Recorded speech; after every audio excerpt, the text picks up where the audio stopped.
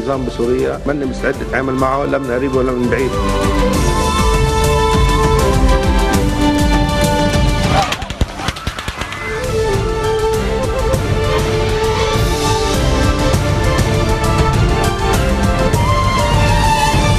إنها السابعة والنصف مساء بتوقيت العاصمة بيروت. أهلا بكم إلى المسائية. ونبدأ بالعناوين مع منير الحافي. مساء الخير هنادي مساء الخير مشاهدينا في عناوين هذه النشرة. موجود نص بالقانون يسمح باستعمال الهوية أو جواز السفر. إجراء الانتخابات في موعدها محل تأكيد رسمي وبري يدعو للوحدة لتحصين الداخل. عشية إعلان ترامب استراتيجيته العامة حيال إيران. طهران ترفع سقف المواجهة وتهدد واشنطن بثمن باهظ. ثلاث هجمات انتحارية لداعش في دمشق. وموسكو تتهم واشنطن بتخريب العملية السياسية في سوريا.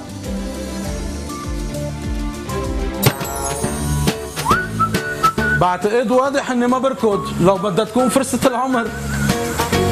بس ب 12 تشرين الثاني نازل اركض ببلون بانك بيروت ماراثون. في كتير قضايا بتخلي يلي ما بيركض يركض. سجل اليوم بفروع بنك لبنان والمهجر واركض للقضية يلي بتختارها. القوى السياسية تتحضر للانتخابات النيابية التي باتت مؤكدة الحصول وفق كل المراجع المسؤولة. وهذا ما ذهب إليه وزير الداخلية نهاد المشنوق مجددا التأكيد من عين التين أن الانتخابات حاصلة في موعدها. والانتخابات نفسها ستكون غدا على طاولة مجلس الوزراء في السراي الكبير من خلال البند المتصل بالاعتمادات المطلوبة لتأمين إجرائها. والملفات الساخنة داخليا إن على مستوى الانتخابات أو تداعيات إقرار تمويل سلسلة الرتب والرواتب يعمل على إنجازها. على وقع سخونة إقليمية برزت تجلياتها بالتهديدات الإسرائيلية وبالسجال الكلامي العالي النبرة بين واشنطن وطهران. التهديدات الإسرائيلية لم تكن بعيدة عن أجواء لقاء الأربعاء النيابي حيث أكد الرئيس نبي بري أن اللقاء الأخير الذي جمعه هو رئيس مجلس الوزراء سعد الحريري على مائدة النائب وليد جنبلاط لم يكن موجها ضد أحد لافتا إلى أن أفضل رد على التهديدات الخارجية يكون بالوحدة بين اللبنانيين في إشارة إلى التصريح الذي أطلقه وزير الدفاع الإسرائيلي ضد حزب الله والجيش اللبناني وكذلك إلى التصريحات الأمريكية في ضوء تلويح واشنطن بالخروج من الاتفاق النووي الموقع مع طهران داعية دول العالم إلى التوحد في سبيل مواجهة النظام الديكتاتوري في طهران. وشريكها الأصغر حزب الله معلنة عن مكافأة مالية للمساعدة في اعتقال قياديين عسكريين في الحزب. البداية من عين التيني حيث الكلام المنسوب للرئيس بري عن أهمية الوحدة الداخلية في مواجهة التهديدات الخارجية والتقرير لمها ظاهر. من الطابع الإقليمي المقلق المتمثل بالتهديدات الإسرائيلية إلى العقوبات الأمريكية. انطلق رئيس مجلس النواب نبيه بري ليتحدث عن أهمية اللقاء الثلاثي الذي جمعه والرئيس سعد الحريري إلى مائدة النائب وليد جنبلاط قبل أيام. فبالنسبة إليه إن أهم سلاح لمواجهة التحديات والأخطار في المنطقة هو الوحدة بين اللبنانيين وأن كل ما يحصل على المستوى الداخلي من خطوات لتعزيز هذه الوحدة هو أهم بل العامل الأساسي لتحصين لبنان. مؤكدا بحسب ما نقل النواب عنه أن اللقاء ليس موجها بطبيعة الحال ضد أي طرف أو فريق. في المقابل تحفظ نواب حزب الله عن الرد على قراءتهم للقاء واكتفوا بالقول لا تعليق. فسر البعض هذا اللقاء تفسيرات وتأويلات بعيدة كل البعد عن الواقع. الإطار الصحيح للتفسير هو أنه شايفين مثل ما تفضلتي وأشرتي للصورة كان على شكل إقليمي أو دولي أو خارجي والمطلوب هو إنه كيف نحصن ساحتنا اللبنانية وكيف ندعم ونعزز من أواصر هيدي الوحدة على مستوى داخلي بعيدا عن كل الضغوطات والتهديدات والتحديات والتداعيات اللي عم تصير ببلد وما وهيدا مش موجه ضد حدا. هيدا بس لمصلحة الاستقرار ومصلحة السيادة الوطنية. ولا المصلحة الوطنية اللبنانية وهو مفتوح. وهيدا مفتوح يعني. كان قبل كان مثل ما بتعرفوا هيدا هيدا البيت شهد كثير من اللقاءات على مستوى كل القيادات والزعامات والمرجعيات بالبلد. زيارة دقائق فقط جمعت الرئيس بري مع وزير الداخلية نهاد المشنوق. فمع الرئيس بري لست بحاجة إلى أكثر من ذلك للحصول على الإجابة. هكذا قال المشنوق لافتا إلى أن البحث تركز على الانتخابات والقانون وما يجب فعله لكي تحصل الانتخابات في موعدها. هل هناك ما يعيق الانتخابات بموعدها حتى لا الساعة؟ أبدا أبدا أبدا. لا هو موجود نص بالقانون يسمح باستعمال الهوية أو جواز السفر. هي البند المتعلق ب ب ال... لا البند المتعلق بالانتخاب بمكان السكن هو اللي بحاجة لتعديل آه، إذا ما في هوية بيومتريه الوزير المشنوق وردا على سؤال وصف اللقاء الثلاثي بالإيجابي والبناء والهادف إلى تعزيز التحاور بين القوى لأخذ الاحتياطات اللازمة لأن ما يحصل حولنا كتير كبير. تقول مصادر المجتمعين أن الرئيس نبيه بري قلق من الوضع الإقليمي. كون لبنان ليس جزيرة معزولة. وبالتالي فأن اللقاء الثلاثي أتى في هذا الإطار لتحصين الوحدة والاستقرار على كافة الصعد من السياسة إلى الاقتصاد. ودائما بحسب المصادر من دون إغفال دور الرئيس نبيه بري في لم الشمل. من مقر الرئاسة الثانية في عين التينة مها ظاهر تلفزيون مستقبل. بعد التهديدات المتبادلة على خط أمريكا إيران وإسرائيل حزب الله تتعدد القراءات لما يمكن أن يشهده لبنان في المرحلة المقبلة وسط توقع كثيرين بأن تبقى البلاد في مأمن لكن مع فرض الولايات المتحدة عقوبات على الحزب. وفي هذا الإطار برز اعتبار قيادة الجيش أن الأقوال المنسوبة إلى مصدر عسكري في مقال صحفي لا تعبر عن موقف القيادة بمعزل عن صحتها أو عدم صحتها. وكان المقال تضمن أقوالا منسوبة إلى مصدر عسكري تناولت موقف الجيش من تصريح وزير دفاع العدو الإسرائيلي حول نظرة هذا العدو لموقع الجيش اللبناني في أي حرب مقبلة. التقرير لربيع شنطف التصريحات النارية المتبادلة بين الولايات المتحدة الأمريكية وإيران وتلك المتبادلة بين حزب الله والعدو الصهيوني تضع لبنان أمام المجهول. وتبرز تساؤلات عن كيفية انعكاس هذه التصريحات على الأرض اللبنانية. لا أعتقد بأنه يعني لبنان سيكون مسرحا لهذا الموضوع، لا يمكن أن ينال لبنان نصيبه من من هذا الموضوع بصورة غير مباشرة من خلال يعني تصويت مجلس النواب ومجلس الشيوخ الأمريكي على قوانين جديدة تفرض عقوبات على كل من له علاقة بحزب الله حتى أصدقاء حزب الله وطاقمه السياسي. هذا هذا احتمال وارد. ولكن لا أرى أن هناك أي مواجهة بالمعنى السياسي أو العسكري على الأرض اللبنانية بين إيران و و والولايات المتحدة. كلام السيد حسن نصر الله. مؤخرا الذي تحدث عن أن حزب الله لم يعد فقط مقاومة لبنانية بل له دور إقليمي وقد أصبح قوة إقليمية عظمى يعني. هذا الكلام بالواقع, بالواقع يستدرج الإسرائيليين على الرد عليه. رد العدو على حزب الله لا يزال كلاميا لكن المخاوف هو أن تتحول الأقوال إلى أفعال وأن يدفع لبنان مجددا ثمن الصراعات والمحاور في المنطقة. لدى إيران وحزب الله بالواقع طموحات لجعل لبنان والجبهة على الجولان جبهة واحدة. وقد ظهر هذا في تصريحات من قبل حزب الله في السابق وأيضا من قبل المسؤولين الإيرانيين. آه، لبنان لأول مرة بيقول إنه الجيش اللبناني هو هو تابع لحزب الله وهو مستهدف حيكون بالمرحلة المقبلة في حال يعني هناك مغالاه في هذا القول. آه، أنا أعتقد بأنه يعني هو يعتبر بأن وجود الجيش في الجنوب ووجود حزب الله في الجنوب وجبهة المواجهة مبدئيا لأي تهديد اسرائيلي هي الجنوب فإنه يعتبر أن القوتين موجودتين في نفس الميدان وعلى نفس الجبهة يعني من الطبيعي جدا أن ينسق أن ينسقا جهديهما العسكري في حال حدوث أي اعتداء إسرائيلي على جنوب لبنان. الهدوء والاستقرار هو ما ينشده اللبنانيون الذين في كل مرة يرون أنفسهم أمام من يعمل لمصالح خارجية وبالتالي ما يريد أن يعيدهم عشرات السنين إلى الوراء. وفي سياق التصعيد بين إيران والولايات المتحدة إعلان واشنطن عن مكافأة مقدارها 12 مليون دولار للمساعدة في اعتقال قياديين عسكريين في الحزب. هما طلال حمية وفؤاد شكر. فمن هما؟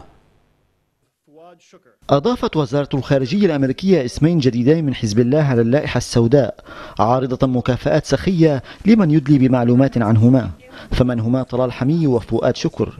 موقع المكافآت من أجل العدالة وهو كناية عن برنامج أمريكي يقدم مكافآت لكل من يدلي بمعلومات عن قيادات مطلوبة ومصنفة إرهابية. ذكر أن طلال حمي من مواليد السابع والعشرين من تشرين الثاني من العام 1952 متحدر من بلدة طرية الواقعة في البقاع الأوسط قضاء بعلبك. يحمل أسماء عدة منها طلال حسني حمية وعصمت مزرعاني وهو رئيس منظمة أو تشكيل الأمن الخارجي التابع لحزب الله والذي ينسق العمل وينظمه بين خلايا عدة حول العالم.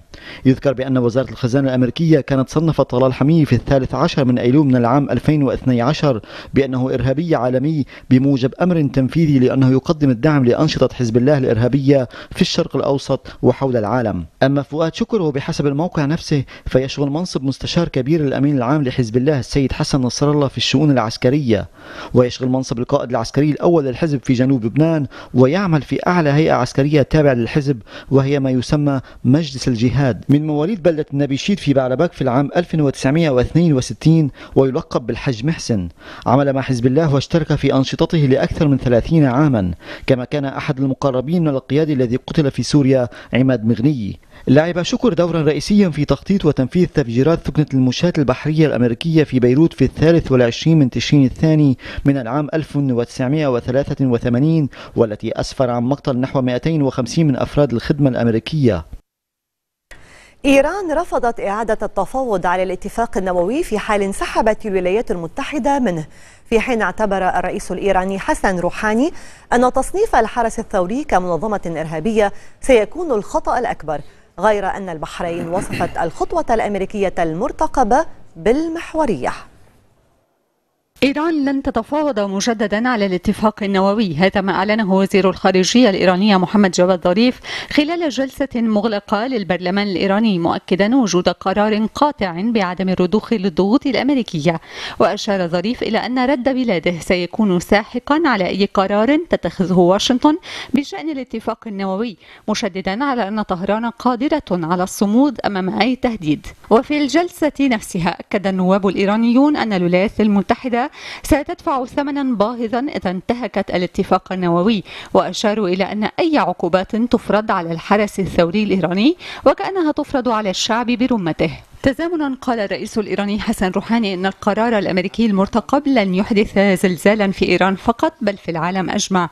وخلال جلسة للحكومة دافع روحاني بشدة عن خصومه السابقين في الحرس الثوري معتبرا أن تصنيف واشنطن للحرس كمنظمة إرهابية سيكون الخطأ الأكبر زاعما أن الحرس يتمتع بشعبية بين العراقيين والأكراد والسوريين واللبنانيين لأنه دافع عنهم في وجه الإرهاب على حد تعبيره. وقبيل الاستراتيجية العامة التي سيعلنها الرئيس الأمريكي دونالد ترامب خلال الأسبوع الجاري أعلنت روسيا أن خروج الولايات المتحدة من الاتفاق النووي سيزعزع الوضع في الشرق الأوسط مؤكدة أنه لا يوجد هناك حتى الآن أي بديل عن هذا الاتفاق. وأضافت موسكو أنه في حال أقدمت واشنطن على هذه الخطوة يحق لإيران عندها وقف تنفيذ الاتفاق. وفي المواقف العربية اعتبر وزير خارجية البحرين خالد بن أحمد أن تصنيف الحرس الثوري كمنظمة إرهابية وإدراجه في لوائح الإرهاب يشكل خطوة محورية في تحديد أحد أهم مصادر الإرهاب في المنطقة والعالم مشيرا إلى أن الثورات لا تحتاج لحراس إلا إذا كانت ظالمة لشعبها وسارقة لحقوقه وتنوي الشر على جيرانها. ولنا في إيران مثل واضح. في غضون ذلك عرضت روسيا لعب دور الوساطة ما بين المملكة العربية السعودية وإيران وإجراء مفاوضات بينهما لإنهاء الخلاف. وقال نائب وزير الخارجية الروسية ميخائيل بوغدانوف إنه سيكون من الأسهل حل الكثير من المشاكل إذا توفر المستوى اللازم من التفاهم والثقة بين طهران والرياض. شارك الأمين العام لتيار المستقبل أحمد الحريري في الاحتفال الذي أقامته منسقية بيروت لإطلاق ماكينتها للتواصل الانتخابي مؤكدا أن لا أحد يمكنه أن يلغي تيار المستقبل. لا تراتبية في تيار المستقبل بعد الرئيس سعد الحريري. جميعنا في التيار جنود للوقوف في وجه المعركة الشرسة ضدنا لإلغائنا من الحياة السياسية لكن أحدا لن يلغينا. الكلام للأمين العام لتيار المستقبل أحمد الحريري خلال الاحتفال الذي أقامته منسقية بيروت في مقرها في الطريق الجديد لإطلاق ماكينتها للتواصل الانتخابي بحضور وزير الدولة لشؤون المرأة جوان جسابيان والنواب عمار حوري باسم الشاب نبيل دفريج وعاطف مجدلاني. لو ما عنا رأس هرم ولو ما عنا زعيم واثق فينا ولو ما عنا رئيسنا وقائدنا الشيخ سعد ما بنسوى شيء. هو اللي بنستمد منه الثقة. وهو اللي بنستمد منه القوة. وهو اللي لما يمنحنا هيدي الثقة لازم نكون على قدها جميعا. وأنا جلت كل مناطق لبنان بالسنتين الأخيرتين. حدلني جول كل المناطق. ولكل اللي طالبوا هلا بالاجتماع كنا فوق بفتح مكاتب ما حافتح ولا مكتب. مكتبنا هو الشارع. مكتبنا بيوت الناس. مكتبنا كل حي. بدنا كل واحد مننا نشيل رتبنا على جرب. أنا مني أمين عام بيروت وليد منه منسق آه نواب مش نواب كلنا جنود. للوقوف ضد المعركة الشرسة اللي بعدها بوجنا واللي عم تاخد أشكال مختلفة اليوم لإلغائنا من الحياة السياسية. نحن ما حدا بيلغينا.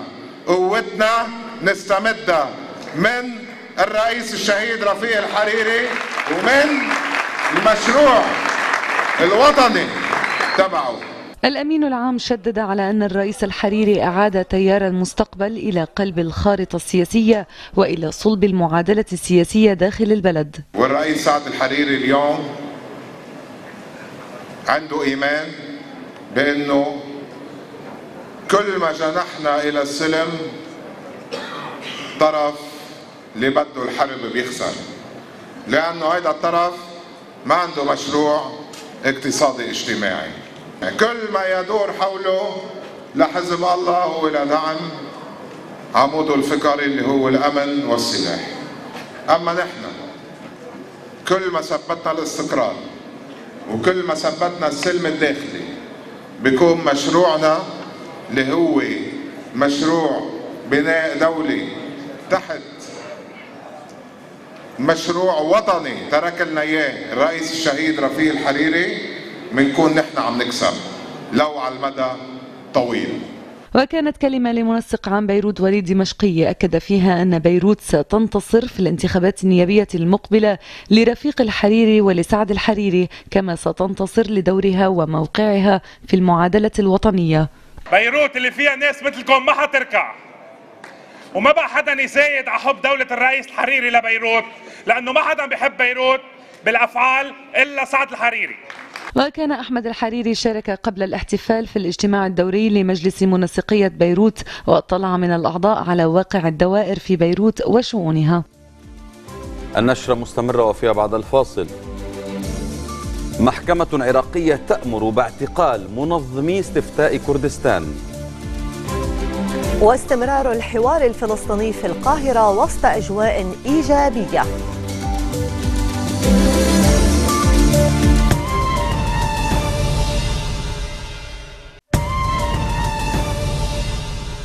أهلا بكم من جديد. تبنى تنظيم داعش ثلاث هجمات انتحارية استهدفت المقر الرئيسي لشرطة دمشق مما أدى إلى مقتل شخص وجرح ستة. في غضون ذلك اتهمت موسكو واشنطن بتخريب العملية السياسية في سوريا عبر تسهيل نقل مقاتلي داعش إلى الحدود الأردنية.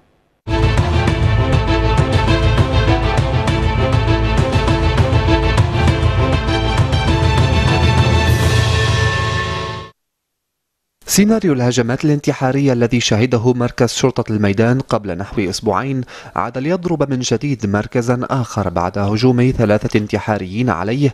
تبناه هذه المرة تنظيم داعش الإرهابي. وبحسب ما أفاد تلفزيون النظام الرسمي فجر انتحاريان نفسيهما بعدما اشتبكا مع قوات أمن النظام وحاولا اقتحام المقر الرئيسي لقيادة الشرطة في شارع خالد بن الوليد وسط دمشق ما أدى إلى سقوط عدد من القتلى والجرحى. في حين تمت محاصرة الانتحاري الثالث خلف مبنى قيادة الشرطة مما اضطره لتفجير نفسه. ميدانيا كشفت مصادر عسكرية عن وصول وفد عسكري تركي إلى معبر أطم الحدودي قابله وصول حشود عسكرية لهيئة تحرير الشام فيما بدا أنه تحضير لدخول وفد استطلاعي تركي ثان إلى داخل الأراضي السورية من أجل تحديد مزيد من نقاط انتشار الجيش التركي في إطار تطبيق مناطق خفض التصعيد. من جانب آخر اتهمت موسكو واشنطن بتسهيل دخول عناصر داعش عبر نقطة مراقبة أمريكية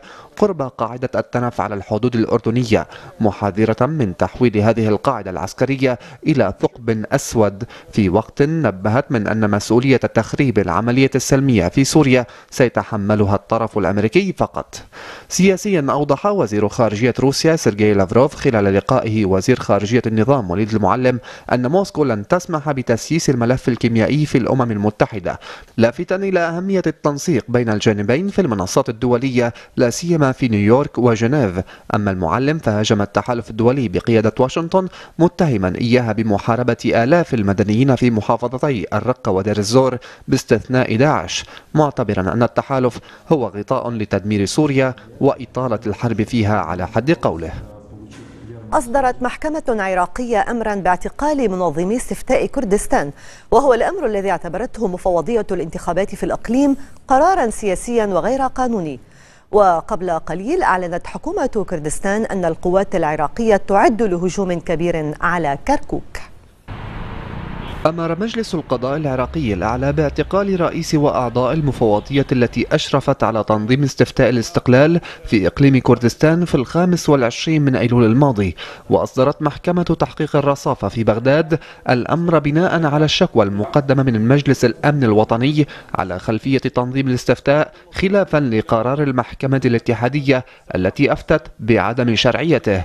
في المقابل اعتبر المتحدث باسم مفوضية الانتخابات والاستفتاء شيروان زراري أن القرار هو سياسي وغير قانوني مشيرا إلى أن المفوضية ترفض القرار لأن الاستفتاء جاء بناء على قرار من رئاسة وبرلمان منطقة كردستان. بدوره أكد رئيس الحكومة العراقية حيدر العبادي أن الإجراءات التي اتخذت على أثر الاستفتاء هي ليست ضد الشعب الكردي ولن يتخذ أي إجراء يضر به مشيرا إلى عدم وجود قطيعة مع الإقليم ورافضا اعتماد الخطاب العنصري. من جهة أخرى أعلن العبادي عبر تويتر انتهاء مختلف العمليات العسكرية غرب كركوك والحواجة وجبال مكحول وحمرين بالكامل. لليوم الثاني على التوالي تتواصل في القاهرة جلسات الحوار الوطني الفلسطيني بين حركتي فتح وحماس اللتين شكرتا الجهود المصرية لإنهاء الانقسام وإتمام المصالحة. وكانت الحركتان قد أكدتا في ختام اليوم الأول من الحوار أن أجواء إيجابية سادت المحادثات التي تطرقت بعمق إلى موضوعات عدة بهدف رفع المعاناة عن كاهل الشعب الفلسطيني وتخفيف الأوضاع المعيشية في غزة. اختتم مركز الملك سلمان للإغاثة والأعمال الإنسانية في محافظة الجوف المرحلة الأولى من برنامج إعادة تأهيل الأطفال والذين جندهم الإنقلابيون. يذكر أن مركز الملك سلمان أعاد تأهيل أربعين طفلا في محافظتي مأرب والجوف كمرحلة أولى على أن يليها تأهيل أربعين آخرين في محافظتي تعز وعمران عبر برامج توعوية موجهة للبيئة المحلية التي يعيش فيها الأطفال. للمرة الأولى منذ أزمة التأشيرات بين الولايات المتحدة الأمريكية وتركيا أجرى وزير الخارجية التركية مولود جويش أوغلو محادثات هاتفية مع نظيره الأمريكي ريكس تيلرسون بشأن هذه الأزمة من دون أن تتضح بعد تفاصيل الاتصال. وكان السفير الأمريكي لدى تركيا جون باس قد قال اليوم في مؤتمر صحفي إن بلاده لا تزال تنتظر تفسيرا من أنقرة بشأن احتجاز اثنين من دبلوماسييها في تركيا. وهو الأمر الذي دفع واشنطن إلى تعليق إصدار تأشيرات في تركيا. تتابعونا بعد الفاصل. الرياضي في بعبدة وبيت الوسط. وقسم الرعاية الصحية الطارئة في مطار رفيق الحريري الدولي.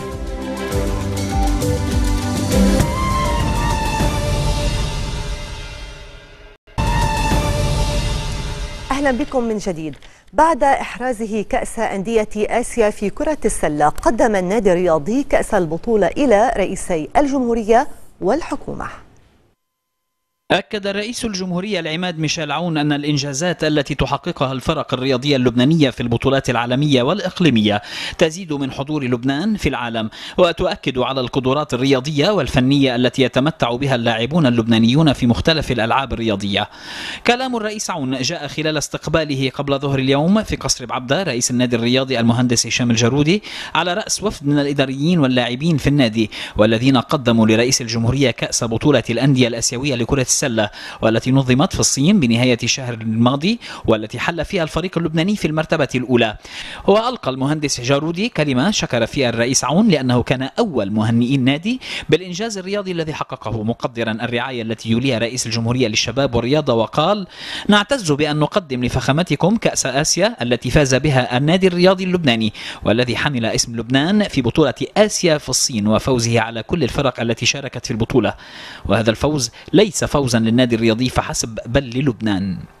ورد الرئيس عون مهنئا النادي الرياضي بهذا الإنجاز الذي يضاف إلى البطولات الكثيرة التي فاز بها سابقا منوها بالكفاءات التي يتمتع بها اللاعبون والمستويات العالية التي يظهرون بها خلال المباريات أمام فرق رياضية كبيرة من مختلف دول العالم. وشدد الرئيس عون على أهمية الاستمرار في توفير فرص اللاعبين اللبنانيين الشباب كي يستمر اندفاعهم وتشهد لعبة كرة السلة من خلالهم المزيد من التطور لا سيما وأن جمهورها يتزايد يوما بعد يوم. وهؤلاء اللاعبين سوف يشكلون خزانا للمنتخب اللبناني في اللعبة.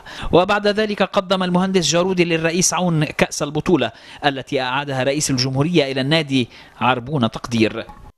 من جهته هنأ رئيس مجلس الوزراء سعد الحريري فريق النادي الرياضي بفوزه في البطولة معربا عن أمله في أن يحقق النادي مزيدا من الانتصارات وصولا إلى الفوز ببطولة العالم.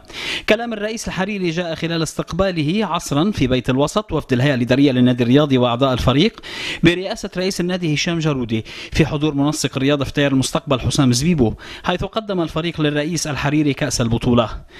في بداية اللقاء تحدث جارودي فأشار إلى أن الفريق الذي حصل على المرتبة الأولى في البطولة دون أي خسارة يهدي هذا الكأس إلى الرئيس الحريري لأنه راعي الفريق وحاضنه وللبنان والشعب اللبناني ككل.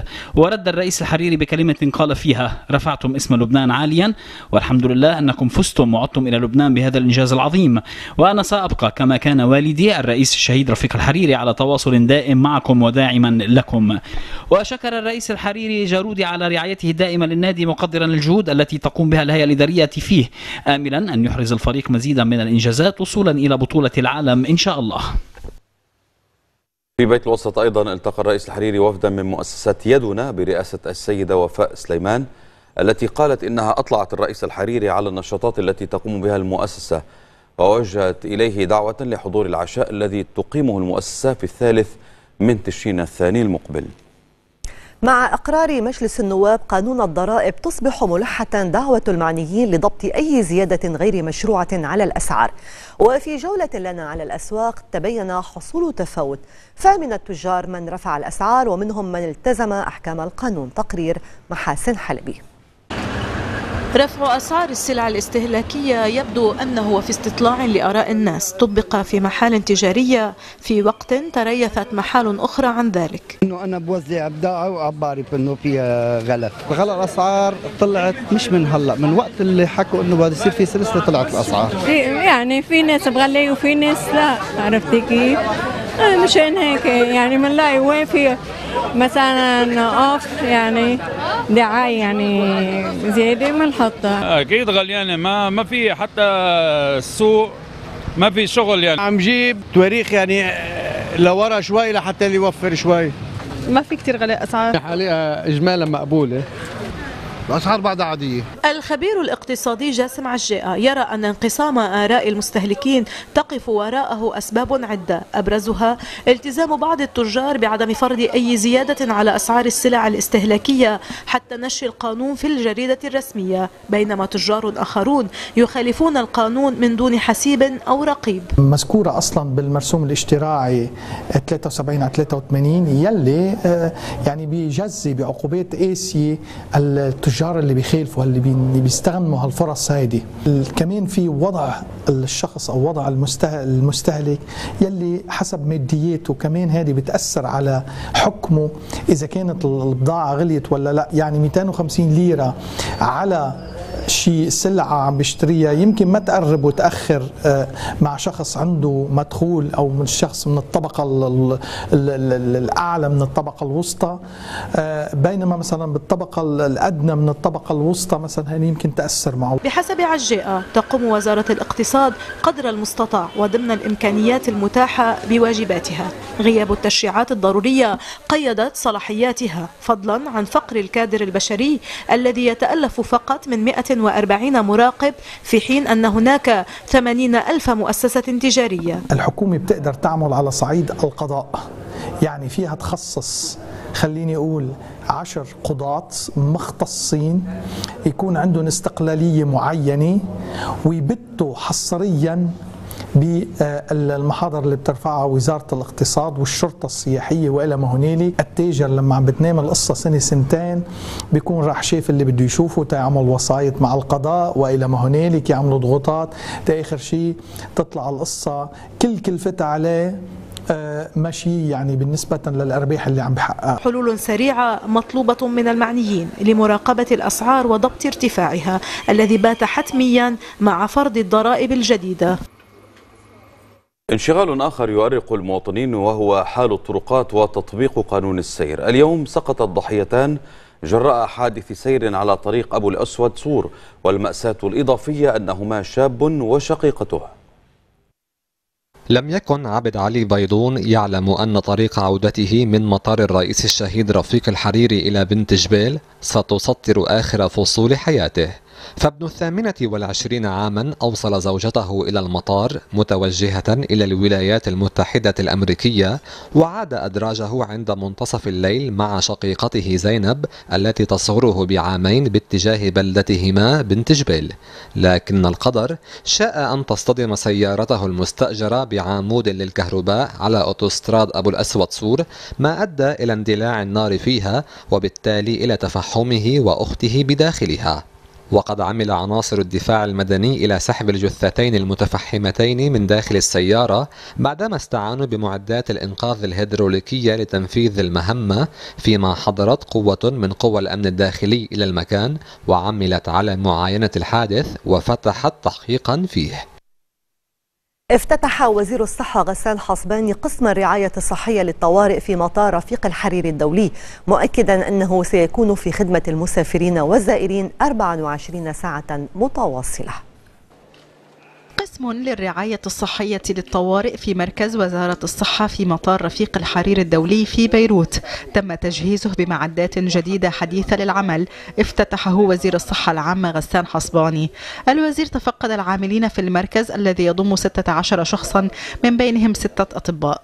كان في آه، حجر صحي ولكن وسعنا نطاقه إلى أن يكون أيضا عنايه للحالات الطارئة آه، يلي ممكن تحصل ضمن حرم المطار. ففي صار أجهزة للإفاقة العناية آه، للحالات ال- الصغيرة اللي بدها آه، يعني انتباه بسرعة قبل ما توصل آه، يوصل الإسعاف على مطار بيروت. فهيك ما بعد يصير في حالات يعني بين المسافرين أو الزائرين للمطار ما ممكن نهتم فيها هون بالمطار إذا كانت طارئة قبل وصول الإسعاف. عززناه بمعدات حديثه أيضا. إضافة إلى الأدوية يلي ممكن تعالج المرضى اللي معهم أمراض مزمنة وعندهم مشاكل. كمان أجهزة الكشف عن الحوامل والجنين ينعرف قبل السفر. إشارة إلى أن حركة الركاب في المطار هي في تزايد مستمر حيث بلغ مجموع الركاب خلال الأشهر التسعة الأولى من العام الحالي حوالي 6 ملايين ونصف مليون راكب ويتوقع أن تسجل الأشهر الثلاثة المتبقية من هذا العام المزيد من هذا الارتفاع. كما يشار إلى أن المركز يقدم حوالي خمسة ألاف لقاح في السنة تتراوح بين حمى صفراء سحايا بالإضافة إلى لقاحات الحجاج في موسم الحج والعمرة. من هنغاريا التي يزورها حاليا اعتبر وزير الخارجية والمغتربين جبران باسيل أن لبنان لم يستطع حماية نفسه من النزوح وبات مستباحا فهو يتأثر بالنزوح الإنساني والاقتصادي. وهذا ما تدل عليه خريطة القدوم من سوريا وخريطة الانتشار داخل لبنان. فتحنا بيوتنا فتحنا قلوبنا فتحنا كل شيء ببلدنا لاستباح وصاروا حتى العناصر المخلة بالأمن ومخلة بالقوانين اللبنانية ما عم نتعامل معها بالحزم اللازم تنحفظ آه، بلدنا. بالوقت اللي هنغاريا أخذت كل الإجراءات اللي بتعرفوها أقله كان تسكير الحدود بشكل كامل وحميت مجتمعها وبالآخر ما كان في عندها آه، ابدا نزوح. بالمقارنة مع دول تانية آه، تكبدت خسائر كبيرة وبلشت تتخلخل فيها التماسك السكاني والمجتمعي. وخلال افتتاحه ورشة عمل بعنوان تغطية قضايا اللاجئين أكد وزير الإعلام ملحم الرياشي أنه يجب أن نكون إيجابيين في تغطية أخبار النازحين بعيدا عن العنصرية داعيا إلى العمل على تخفيف التشنج السائد لحين عودة السوريين إلى بلادهم. وضع حد للتشنج بين الضيف السوري والمضيف اللبناني وعدم تسويق أي جريمة تحصل وكأن هناك شعب مجرم أي مشكلة تحصل وكأن هناك كارثة كبرى تحدث في لبنان. تسويق الأمور على قدر أحجامها والتعاطي معها على هذا الأساس بانتظار عودة قريبة وآمنة وأمينة للشعب السوري إلى وطنه. تربويا أعلنت منظمة الشباب التقدمي انسحابها من خوض الانتخابات الطلابية هذا العام في كل الجامعات معتبرة أن الانتخابات تحولت إلى مسار غير المسار المرجو منه تشوبه عيوب التطييف والتعصب الطائفي في كثير من المواقف. والمواقع أضافت المنظمة أنها ستعكف في الفترة المقبلة على بناء رؤية واضحة تحدد على أساسها كيفية خوض الانتخابات الجامعية للأعوام المقبلة تحت عناوين سياسية وطالبية. أكد مفتي الجمهورية الشيخ عبد اللطيف دريان أن اللبنانيين حريصون على تعزيز وحدتهم وعلى مواجهة الإرهاب. وأشار خلال لقائه السفيرة الأمريكية في لبنان إليزابيث ريتشارد أن لبنان تربطه علاقات وصداقات ودية مع الدول العربية والأجنبية التي تحترم حريته وسيادته وعروبته وقراراته. ولا تتدخل في شؤونه. وشدد على أن إسرائيل هي عدو للبنان ولا تلتزم بالقرارات الدولية. عقدت غرفة الاستئناف المحكمة الدولية الخاصة بلبنان جلسة للأخذ بوجهة نظر المدعي العام نورمان فارل ورئيس مكتب الدفاع فرانسوا رو بشأن المسائل القانونية التي طرحها قاضي الإجراءات التمهيدية دانيال فرانسن على غرفة الاستئناف. وهي أسئلة قانونية ستساعده على البت في القرار الاتهامي الجديد الذي أودعه فرل لقاضي الإجراءات التمهيدية في تموز الماضي وبقي مضمونه سريا. إدارة حصر التبغ والتنباك اللبنانية الرجي كرمت الفائزين بمسابقة منشر صور للتصوير الفوتوغرافي. برعاية عقيلة رئيس مجلس النواب السيدة رندا عاصي بري وزعت إدارة حصر التبغ والتنباك اللبنانية الرجي بمقرها في الحدث الجوائز على الفائزين بمسابقتها للتصوير الفوتوغرافي منشر صور التي تمحورت حول موضوع مراحل القطاف ومواسم التبغ والتنباك في لبنان ويشير عنوانها إلى المنشر الذي تعلق عليه أوراق التبغ بعد قطافها وتهدف إلى دعم الطاقات الشابة والموهوبة. أصبحت من المؤسسات التي تشكل علامة فارقة بين المؤسسات ليس في الوطن العربي بل في العالم. وأريد أن أحيي باسمكم بصورة خاصة جميعا. رؤساء البلديات الذين حافظوا وسهروا على تعب المزارعين مزارعي التبغ في الجنوب والبقاع والشمال وعلى مساحات لبنان. إننا في الرجي نؤمن بأن الفن الواعي والملتزم ونؤمن بتطوير قدرات شبابنا فكريا وفنيا. كما نؤمن بأهمية التنمية المستدامة ودعم المزارعين. الريجي وعدت بتوسيع هذه المسابقة وهذا المعرض من أجل دعم قطاع الفن والمواهب الشابة. الآن صفحة الأحوال الجوية مع كريستال عبد الساتر طقس خريفي عم بيسيطر حاليا على أغلبية مناطق الحوض الشرقي للبحر الأبيض المتوسط. تفاصيل أكثر عن طقس لبنان بنشوفها بعد جولة على الدول العربية. بنبلش جولتنا مع القاهرة 29 26 بتونس 33 درجة بالرباط. 33 ببغداد 27 بدمشق 26 درجة بالقدس. والختام عم بيكون مع الكويت والرياض 36 درجة أما الدوحة 38 درجة. نوصل هلا على طقس لبنان. بكرة جو العام عم بيكون غائم جزئيا مع استقرار بدرجات الحرارة على الساحل تتوصل أقصاها ل 27 درجة. أما أدناها ل 18 درجة. بالنسبة للرطوبه عم بتسجل أقصاها 75% أما سرعة الرياح عم بتوصل لل 30 كم بالساعة. ارتفاع بسيط بدرجات الحرارة بالجبل وبالداخل تتسجل أقصاها بالجبل 20 درجة. أما بالداخل عم تتراوح بين 15 وال 23 درجة. جولتنا اللي بتاخذنا من الشمال للجنوب بتفرجينا أكثر تفاصيل الحراره ببعض المناطق اللبنانية. ببلش جولتنا من الشمال مع عكار 26 27 بطرابلس 14 بالقرص 25 درجة بالكورة 26 بالهرمل وبالقاع 23 ببعلبك 22 درجة برياق بنكمل على جبال 26 15 بميروبا 27 درجة بجوني وببعبدة بيروت كمان عم توصل فيها الحرارة. ل 27 درجة والطقس عم بيكون غائم جزئيا 23 بزحلة 24 بشتورة 26 درجة بعنجر وبمشغرة. جزين 25 رشية 24 مرجعيون 25 بنت جبال 26 درجة والختام مع بيت الدين 23 والمناطق الجنوبية. صيدا سور وقانا 27 درجة. مثل ما ذكرنا لبكره عم بيكون في عنا طقس غائم جزئيا. أما الحرارة لبكره عم بتسجل أقصاها 27 درجة أما ادناها 20 درجة بالنسبة لنهار الجمعة والسبت. انخفاض بسيط درجة الحرارة بس عم بيكون في عنا طقس صافي تتوصل الحرارة أقصاها لل 26 درجة. عم بيكون في عنا ضباب على المرتفعات أما بمنطقة الأرز الحرارة عم تتراوح بين الخمسة وال 14 درجة. هيدا كان كيشي لليوم. بشوفكم بكرة.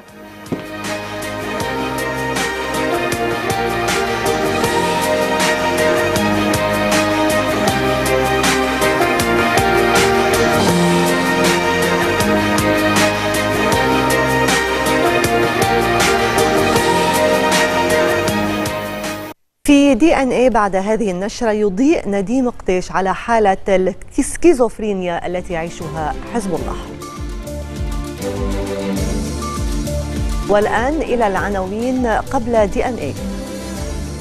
موجود نص بالقانون يسمح باستعمال الهوية أو جواز السفر إجراء الانتخابات في موعدها محل تأكيد رسمي وبري يدعو للوحدة لتحصين الداخل ويقول اللقاء الثلاثي لا يستهدف أحدا عشية إعلان ترامب استراتيجيته العامة حيال إيران طهران ترفع سقف المواجهة وتهدد واشنطن بثمن باهظ. ثلاث هجمات انتحارية لداعش في موسكو في دمشق وموسكو تتهم واشنطن بتخريب العملية السياسية في سوريا. إلى هنا تنتهي هذه النشرة. شكرا لإصغائكم وإلى اللقاء. إلى اللقاء.